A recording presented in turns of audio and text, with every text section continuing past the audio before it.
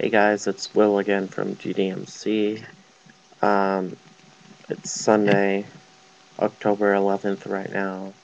Um, doing a little quick update vlog while I'm in bed before I head out to do other things today. Um, so people have been asking me in person mainly and a little bit on the MySpace when Wallstock is.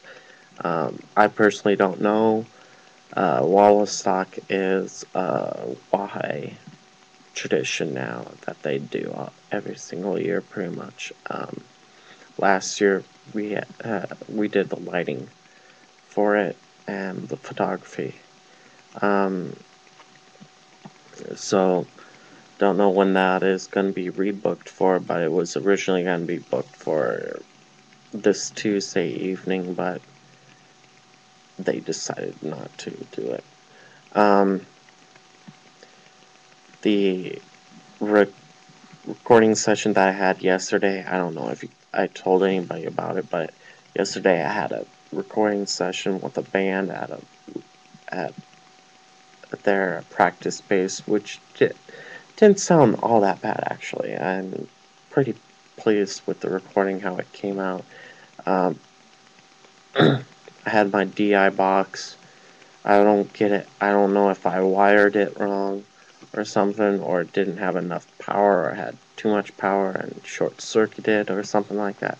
But the DI box just decided to break down on me. It didn't want to work. It wanted to bring signal through it, but it was a very low signal, so he ended up just plugging in the guitar directly into the board. I know that is very, very bad for the board, but I didn't have an, an extra mic for that guitar cabinet, and plus the guitar cabinet didn't sound all that good either, so we just decided to hook up the guitar and the amplifier directly into the uh, into my uh, mixing board, the Behringer board that I have. Um, other than that, it was a pretty good session. I think we ended up having a one hour sound check um, and about two and a half hours of recording. I think it was two and a half hours of recording, so it was pretty good, uh, pretty productive. Uh, probably the most productive uh, recording session that I've ever had. Um, so it was pretty good. I think I might be investing more time with this band, so because I'm digging their sound. I'm, uh, if I get permission from them to upload a vid upload one of their tracks, I'll definitely do that or play it so that you guys can hear it on YouTube. Alrighty, guys. Um, I'll keep you guys posted on new events and new stuff coming in. Um, I bought a brand new fogger, two two foggers actually. I don't know if so. Then my last video I probably did uh, last weekend, so I still yet to actually test them out. Um, I tested one of them out last weekend. I did a video on it, but somehow my camera deleted it. So maybe I'll bring them over here at the studio and or even do it over at the greenhouse and show you guys. Um, plus, I got a couple new cases, one brand new big case.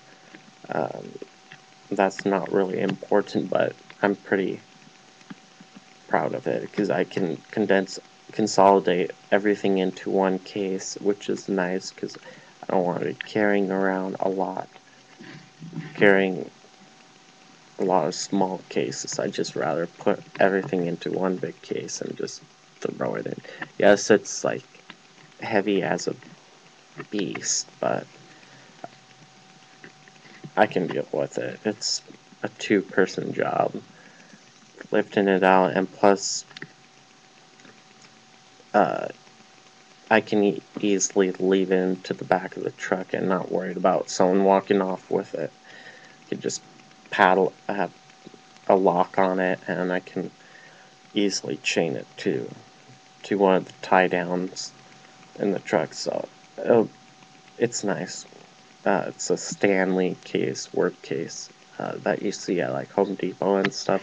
really big tool chest, rolling plastic one. It's like big and industrial looking case. It's nice. Um, planning on probably getting another one of those or a little bit smaller one for all my sound stuff because noticing yesterday I made like five or six trips to the truck uh, just grabbing all the recording stuff like stands mic cable box mics um, an extra cable box that I use for like uh, laptop and hooking up the laptop to the board and stuff like that. So, yeah, it was pretty annoying. So, I'll be thinking about getting another case. Alrighty, guys. Talk to you guys later. Practice and enjoy.